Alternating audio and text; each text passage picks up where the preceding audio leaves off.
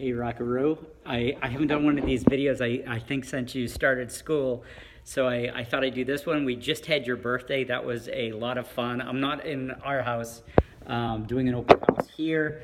You and, uh, you and Mama had a really fun day, and you did a whole bunch of cool stuff. You went to gymnastics and then a petting zoo, and you're playing at home now. And I've only got an hour here uh, left to go, and then I will see both of you shortly.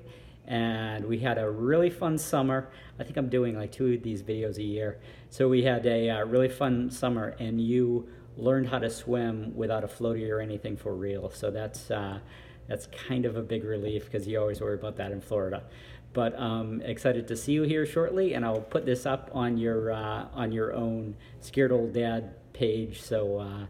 So we have that. You, there are a whole bunch of videos of you all over the place, but I, I want you to have some stuff of, of just me and Mama talking to you. So I will see you in an hour and hopefully see you in the future with this. I love you.